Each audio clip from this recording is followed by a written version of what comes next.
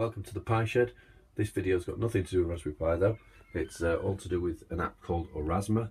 Aurasma is a cool app uh, for iOS that you can use to move across pieces of work and see video feedback. And I'm going to give you an example of that and how it works, or it could potentially work in the classroom now.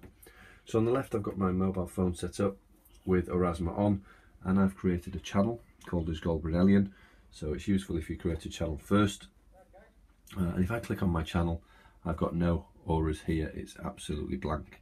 So what I want to do is create a new one. So I'm going to tap on there now, and it's asking for a overlay.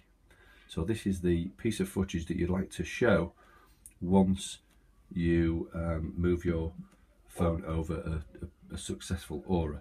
So I've recorded a piece of um, a piece of video. And what I'm going to do is I'm going to add a new piece of video from my phone and it's this particular one here.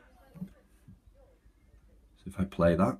When moving the phone over a piece of work in the classroom, this piece of video footage could either be the student talking about the work or it could be feedback from the teacher for the student.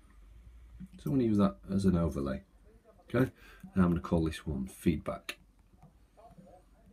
So at this point I'm creating an aura. Okay, so there it is feedback. When moving the phone over a piece so of work just confirming this piece of video footage. Footage, so I'm going to select it. And now it's saying, or it's asking for a trigger image. So what image would I like to um, move my phone over to see that piece of video footage? So if I move it over this piece here, you'll see this icon goes either green, amber or red. Well, before you click, it must be on green, otherwise it won't work.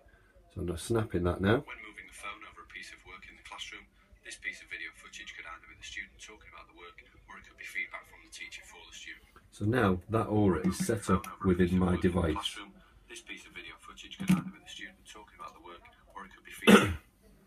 So, click feedback.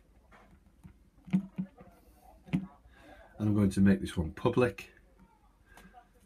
And I'm going to add it to my school channel. It's quite important that you do that. So now, on my channel, I have the aura listed there. So what I'm going to do now is I'm going to show you how uh, a parent or a student would actually get to their auras. Um, really useful for things like open evening and I'll show you how they'll get it on their mobile device. Imagine now that this on the left, the iPad on the left is the device that you're going to uh, parents using for instance and we've still got the piece of work on the right. So within Aurasma you would advise students or parents to search for um, the channel so my channel was called was Brunellian, so you'd have to have some instructions to that effect um, in the classroom. So I'm searching for that channel, and there it is. So I found it, and now I'm going to follow that channel. So followed it before. So there we go, you're following go Brunellian. So now it shows the auras that are listed at the bottom, but we can't access those until we move um, the device over a particular piece of work.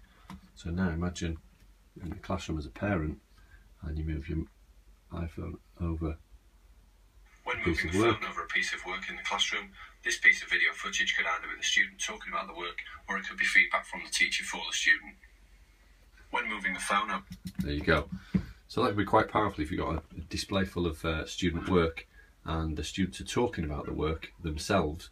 Um, could be quite cool for open evening. Um, parents could see a, a, an array of work and similarly for students, if you want to do um, a really cool feedback session, then you could have uh, a feedback channel um, that all students could access through their devices and they could get video feedback or personalised feedback um, at home. Hope you found it useful.